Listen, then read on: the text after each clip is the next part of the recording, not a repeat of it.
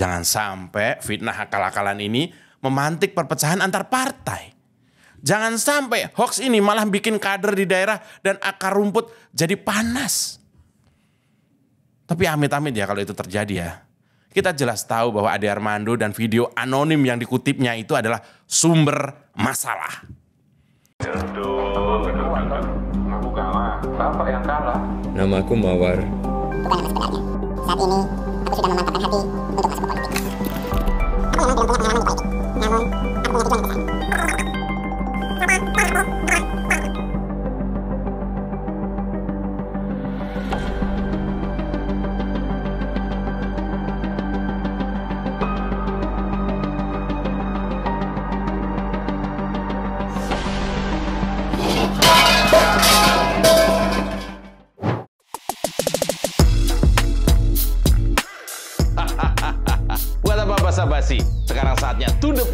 Bersama saya, Mas Jobray di Youth TV.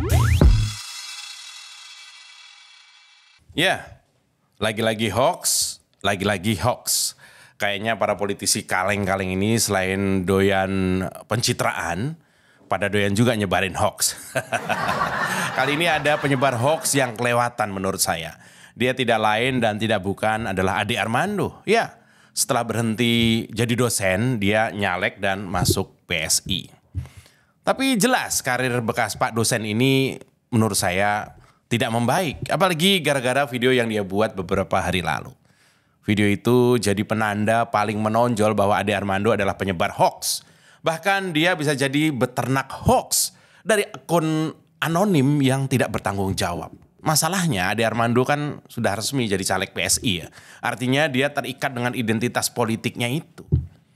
PSI di sini perlu dipantau nih soalnya apa mereka berani bersikap soal hoax ini. Tapi nggak perlu jauh-jauh nagih ketegasan sikap dari PSI ya. Kita aja sebagai netizen yang masih waras ini tentu sudah paham bahwa ada perbedaan antara hoax dan fakta. Kacaunya dalam video di akun YouTube-nya Ade Armando ini bicara dengan narasi yang seakan-akan dia tuh yakin banget. Tapi dia justru menyebar fitnah. Kurang lebih Ade Armando bilang kalau tergabungnya Kaisang di PSI itu membuat gempa kecil di PDIP katanya. Katanya Bu Mega mengumpulkan orang-orang di kediaman beliau tanggal 21 kemarin kata si Ade Armando di video itu. Terus dalam peristiwa itu katanya Bu Mega sampai gebrak-gebrak meja dan marah-marah. Bahkan katanya lagi Bu Mega itu marah ke Mas Hasto dan Pak Ganjar. Ini apa-apaan.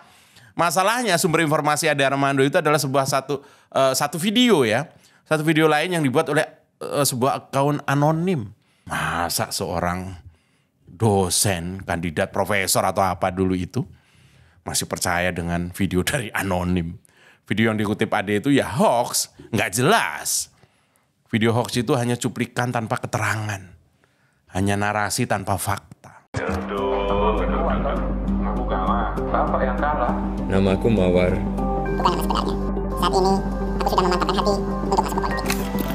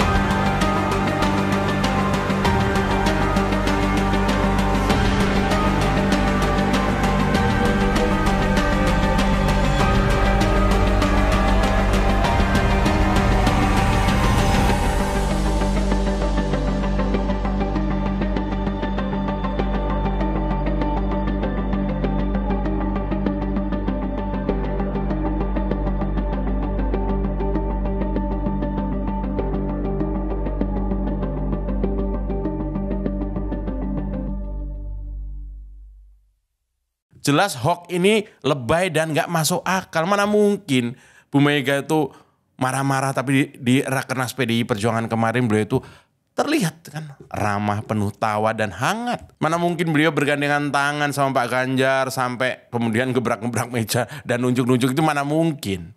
Lagian Bu Mega itu nggak punya rekam jejak main tangan nggak ada, nggak kayak mungkin bosnya Ade Armando itu. Jelas tuduhan-tuduhan Ade Armando itu bukan fitnah recehan. Fitnah itu bukan ocehan sembarangan loh. Fitnah itu sangat berbahaya. Hoax yang disampaikan oleh Ade Armando itu berbahaya. Meski Ade Armando hanya mengutip ngutip sebuah video katanya, tapi juga nggak tahu saya video yang mana, tapi dia jadi aktor penyebaran informasi palsu. Harusnya dia udah paham soal beginian, tapi hoax itu tetap aja dia gas tanpa rem ya. Ya kalau mau bertanggung jawab harusnya fitnah ini membuat Ade Armando sudah ditindak menurut saya. Tindakan tegas dibutuhkan untuk menindak fitnah. Dan karena Ade Armando adalah caleg PSI, karena Ade Armando adalah calegnya PSI, dia ke mana-mana akan memakai identitas partainya. Sehingga kelakuan Ade Armando itu jadi ujian perdana untuk Pak Ketum Bro Kaisang. Ya Pak Ketum, apa kabar Pak Ketum? Sebagai ketua baru PSI, nyali Kaisang benar-benar diuji sekarang. Padahal baru beberapa hari aja, uh, beberapa hari ya, mungkin dua tiga hari jadi ketua umum. Sekarang diuji. Apakah Kaisang punya nyali untuk menertibkan caleg PSI yang nyebar-nyebar fitnah itu? Apa Kaisang berani menindak Ade Armando? Apa Kaisang berani menegur atau memberi sanksi sebagai ketua umum terhadap kadernya, calegnya yang menyebar hoax, fitnah yang sangat keji itu? Nah pertanyaan ini hanya bisa dijawab oleh nyali dalam diri seorang ketum bro Kaisang. Tapi ya masa sih ada fitnah keji kayak gitu, bro ketum malah diem aja. Gawatnya kalau nggak ditertibkan dampak dari fitnah keji ini bisa ke mana-mana loh. Yang paling jelas fitnah ini akan berpotensi memantik permusuhan. Barat korek api yang kecil kalau dia disemprot terus oleh bensin berupa hoax atau fitnah itu tadi maka fitnah ini akan membesar. Nah sebagai netizen yang waras kita perlu menjernihkan hoax dengan fakta-fakta. Setiap hari kita menyaring hoax dan fakta setiap hari. Tapi ibarat mengurus kebun, yang para netizen waras kayak kita ini upayakan ini hanya di permukaan. Justru yang paling bisa dan mampu menindak adalah PSI itu sendiri, apalagi Mas Kaisang. Tindakan tegasnya sebagai ketum PSI untuk menindak kadernya yang sembarangan ngomong, sembarangan menyebar fitnah dan hoax itu mutlak dibutuhkan. Ya meski sudah kisaran berapa hari hoax itu berterbangan di dunia, dunia maya, di sosial media, tapi sejauh ini belum ada tanggapan serius dari bro ketum Kaisang. Semua masih bungkam dan pura-pura nggak dengar. Jangan-jangan ini disetting Padahal udara 2024 ini makin dekat, segala potensi perpecahan dan permusuhan harus dipadamkan.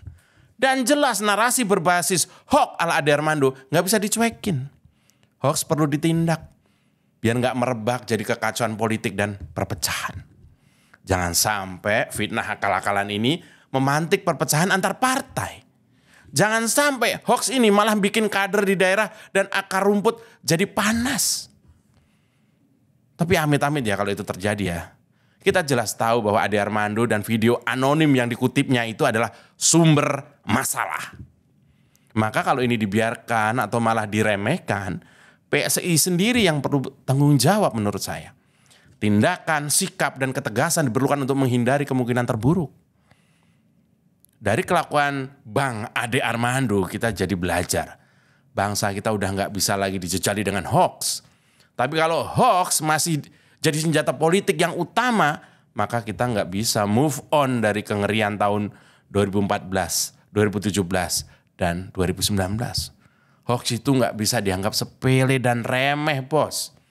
Hoax sekecil apa pun harus dihapus. Masalahnya banyak politisi kaleng-kaleng yang goreng-goreng hoax itu. Tentu kelakuan itu gara-gara dia ngebet berkuasa. Momen ini jadi penting untuk pendidikan politik kita sebagai rakyat. Kalau strategi politik hoax masih digas tanpa rem, terus kapan kita maju? Kita pasti paham bahwa politik bangsa kita akan sehat tanpa korupsi, tanpa fitnah, tanpa hoax, dan tanpa hal-hal yang keji. Nah, terus berapa harga yang perlu dibayar untuk mewujudkan politik yang sehat itu? Jelas harga yang perlu dibayar adalah nyali dalam diri. Mas Kaisang perlu ikut membayar harga itu. Ibarat semacam DP untuk mencicil politik yang lebih sehat. Mas Kaisang dan PSI perlu sadar bahwa mewujudkan politik yang sehat perlu nyali. Kalau kader penyebar hoax saja nggak ditindak, minimal ditegur dan disanksi lalu mau mereka itu maju ke arah mana? Keberanian adalah harga paling sepadan untuk kecurangan. Apalagi untuk menebus fitnah-fitnah yang berpotensi jadi perpecahan. Selamat bekerja, Bro Ketum Kaisang. Saya Mas Jopre. Aman kan?